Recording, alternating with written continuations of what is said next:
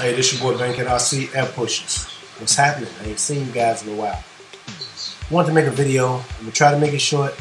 It might not go that way. So bear with me. Talk about some different things I got going on or what I have now. I'm clearing out everything that I have. Uh, good or bad. Some souvenirs, but if you know me, it might be just garbage. I'll sit it out there. Somebody take it. But here's here's where I'm at. Here's what's going on. I haven't flown consistently in two years. I've flown here and there, but I haven't flown nothing I felt was worth putting up FPV except my last video I did slowly back in the game. So here's what's happening. Y'all see a bunch of planes back here. I just brought them up in the kitchen for my wife, so y'all can see what we talk about these planes. So let me let me do this. Fingerprint. That plane. I just flew that about two weeks ago. It sat in my basement from the last time I flew it a while ago. Last video, something. I crashed it, busted the motor mount. As you can see, here's the motor. Power 46. Motor mount still good, still on there, but it couldn't, thing couldn't hold it, so it's done. I got to fly it twice before it crashed. Second, first flight, horrible. Second flight, beautiful. Landed it, didn't have enough runway space. Bent the shaft, tail wheel jacked up, tip of the wings messed up, and of course that front firewall is jacked up. So it's just, I'm, I'm tired of it. I'm not a good pilot. I'm, i can admit that. I need a stabilization on that for me. I'm just not a good pilot. But, you know, I can fly. I'm not the best pilot. Let's say that I'm not the best pilot. No, nowhere near the best pilot. So, you know, that one done. I might hang it up in the garage. I might take some of those out and dump it. I, you know, just see what I'm doing. I'm clearing out. Matter of fact, I think I'm clearing out all garbage. I'm getting rid of it. When you crash a plane, never fly right. They just never fly the same. Especially a hard crash. Hard crash with breaking stuff and, you know, it just never fly the same. RQ-11, that was a good bird. Drone looking bird. I would love to order another one, but I didn't like how they had the uh, pull push thing, so I put push rods in it to make it push.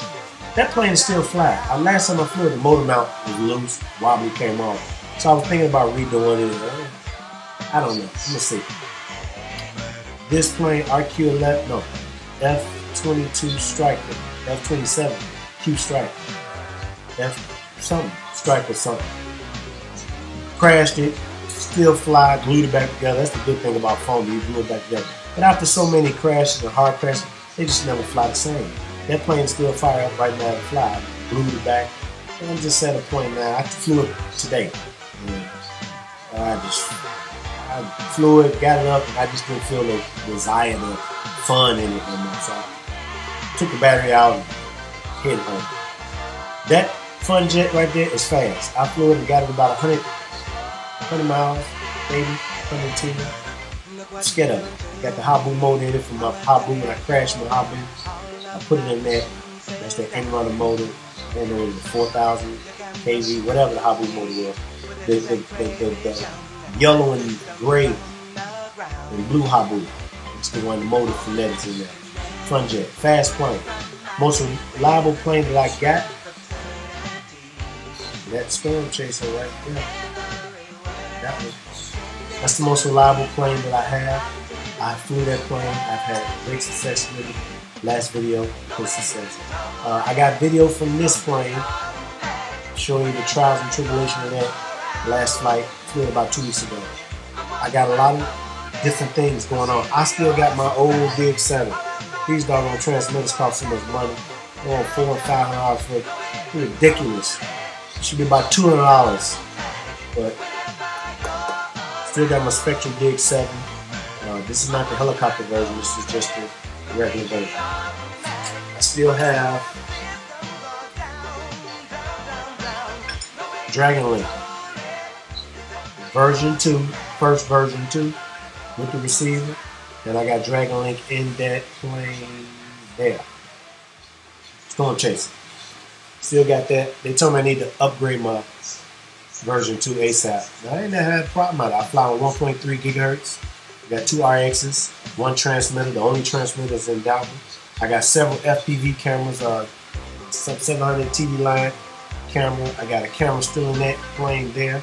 FPV camera, board camera, I put in a box. I got a 540 camera from Ready Made.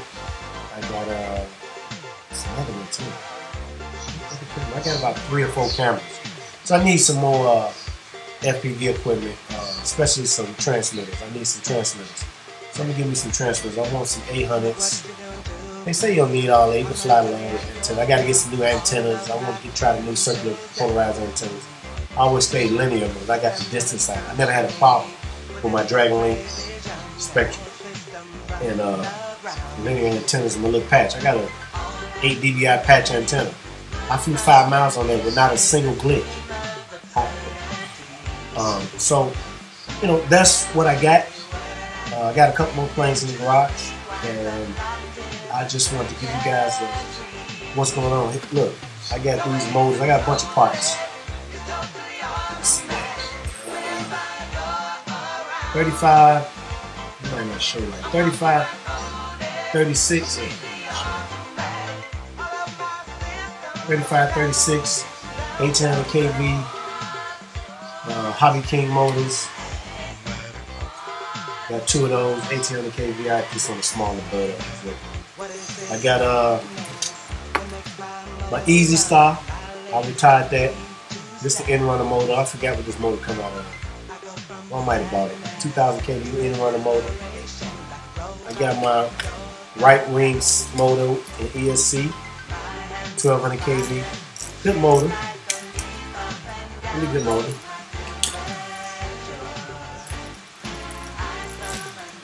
Yes. Let me test this one. Good motor. Uh, got a lot of different things.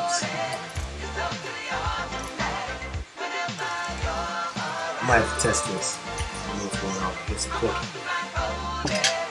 Uh, what's this here? I forgot Hobby Parts motor, 3548 motor, 780, 700 some kV power, like a power 25 motor. Got that. I still got my GoPro Hero 2. I'll tell you what I'm at. These things are about half the size. They cost too much better money. Uh, I'm gonna give me another one. Slowly. They got plenty other cameras. Uh, but yeah, so that's where I'm at. You know, I just want to give you guys an update of what's going on. I got some more planes in the garage.